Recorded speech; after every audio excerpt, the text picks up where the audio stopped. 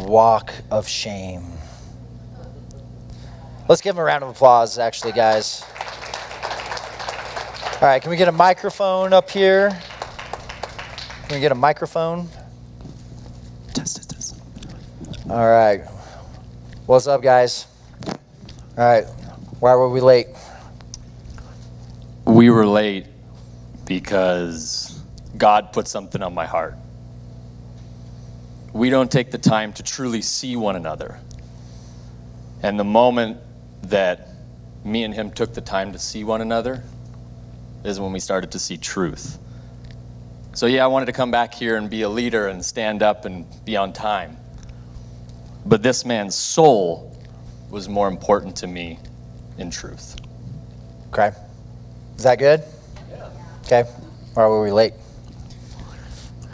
Um, have you ever searched for something and all the answers just seem to come out of nowhere at a weird time?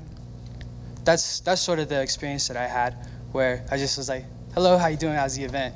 And then it just it turned into something a lot more than I expected, just from a simple hello. So, what was the conversation? Jesus. Jesus. Yeah. What about Jesus?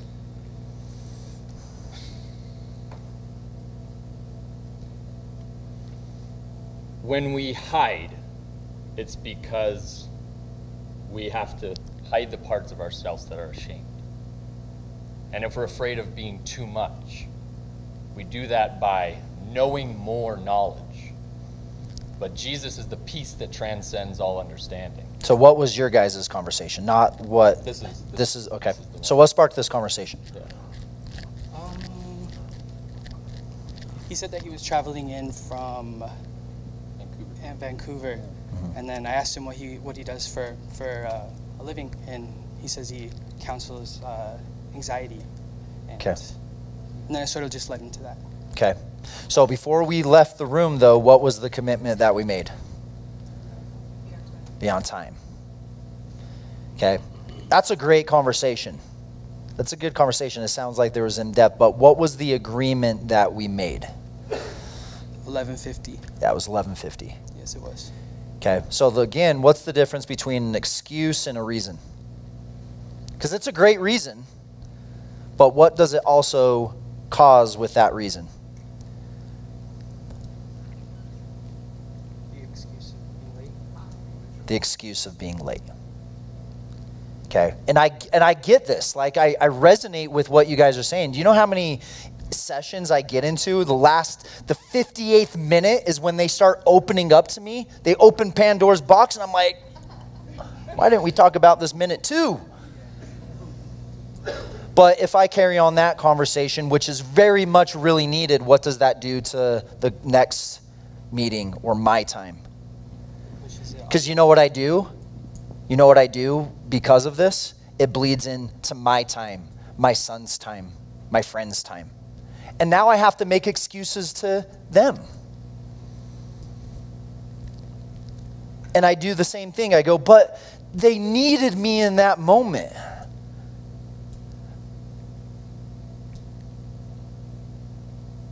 This is kind of interesting. We're, we're talking about Jesus, but I think sometimes we have this Jesus like complexion about ourselves. Like we have to sacrifice ourselves for other people. Okay, you're not Jesus, guys. Let me remind you. Okay, you don't need to suffer the sins of someone else. You don't need to die on the cross. You don't need to lose money. You don't need to do these things for other people. Okay, I will never tell you what to sacrifice, ever.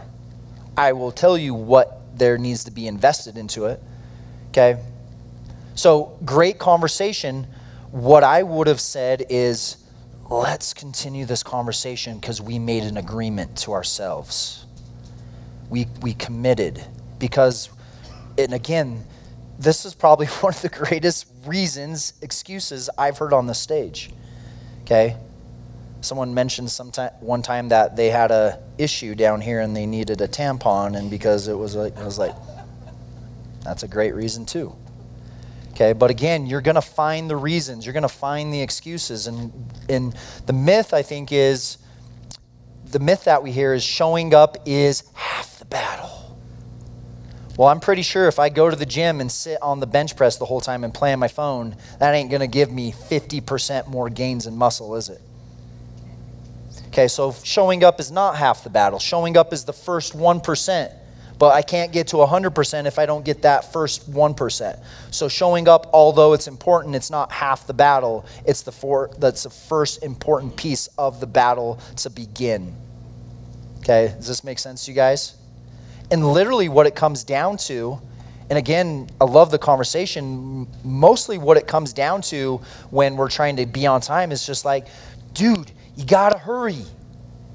You got to put a little pep in your step. Like, you got to get on your horse.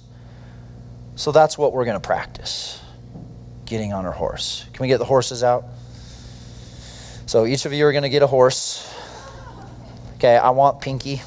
Okay, before you before what we're doing, we're going to have a competition. You guys are going to race. Okay, and what you're going to do when the music goes, okay, music goes, you're going to race. And so you're going to go like you're actually racing. Let's go, baby! We got to be somewhere! Let's go! And you guys are going to vote. Whoever you think's winning the race, you're going to point at. Okay? It's you guys versus each other. Okay, who's going to win? Who's going to win? Let's see. Ready, go. Yep. Let's go.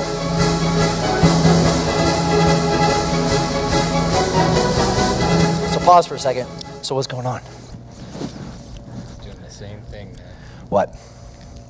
Taking the time to see one another is more important than riding a horse. Okay. So let, let's break this down a little bit. Does he have a point here?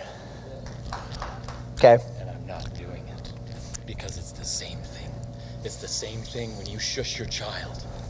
I am not going to pretend like I don't see an individual and ride a horse. So the, And I'm not being disrespectful. I'm being truthful in love. okay. So let's let's talk about this for a second.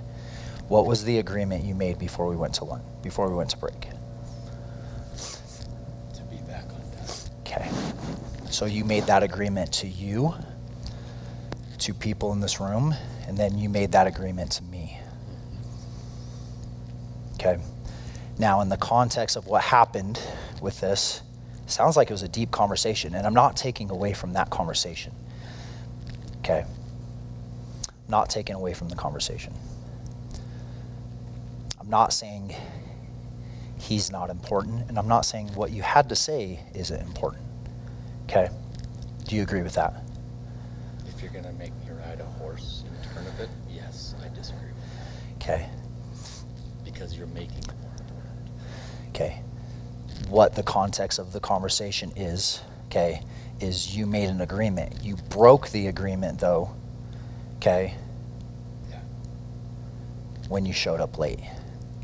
So you showed that you're not important, and you said that I'm not important. So, in the context of this, other two things were broken. No, you know what I showed? That Jesus is more important. Okay. That's what I showed. So, is that what you're going to stand by? 100%. I love. So, so, Jeff, what do you do? I help people discover the peace and joy of Christ. Okay.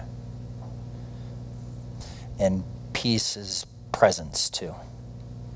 Okay. You're strong willed, and I appreciate that. I appreciate the strong thing.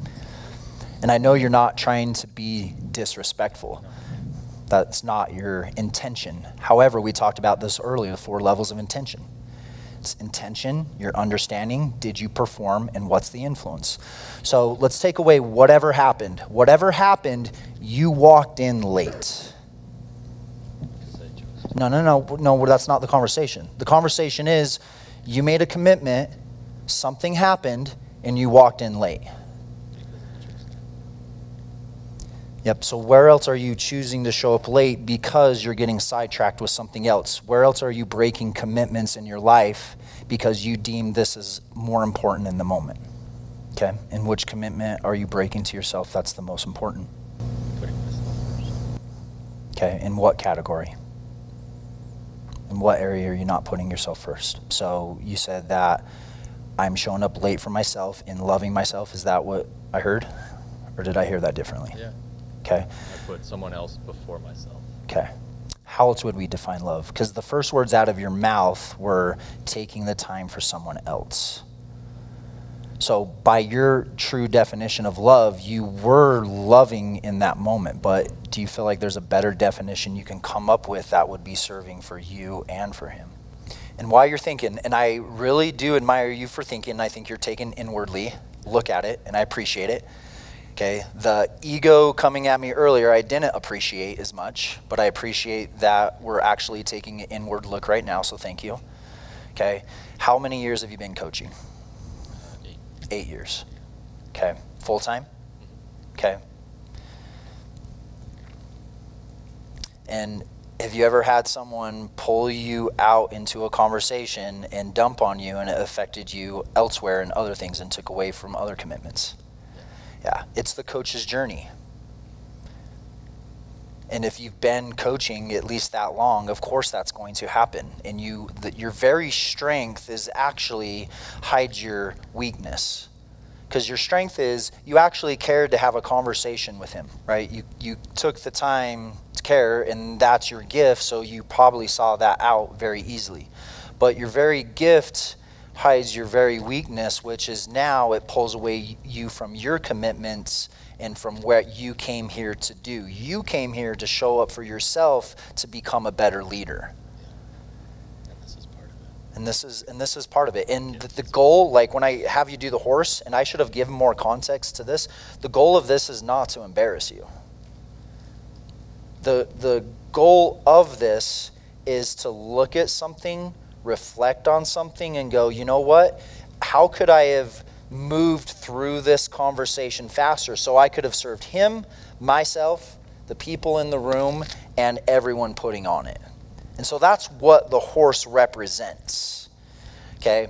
And also, what this represents is this represents a way for you to not look at this thing and shame and beat yourself up, but just look like, yeah, I just need to move faster. And what I love about this event is it's fun and you're going to do things that are uncomfortable. Okay? And if you can do things in a, an environment where everyone's kind of chosen into that belief system, like, yeah, let's kind of set our egos aside and everything, and let's just kind of choose into this and play full out. And what you're going to notice is you start to do those things, is you're notice that this is going to start to domino effect into other parts of my life unconsciously because I was in an environment that I gave myself permission to let go. And for whatever reason, it started to impact my central nervous system a little bit differently. And now, when I show up on Monday or Tuesday, I don't know, there's just kind of this different pep in my step that I really just can't really give a conscious answer to other than I feel differently.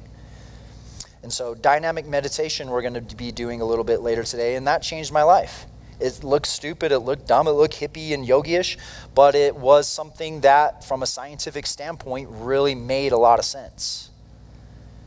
Okay?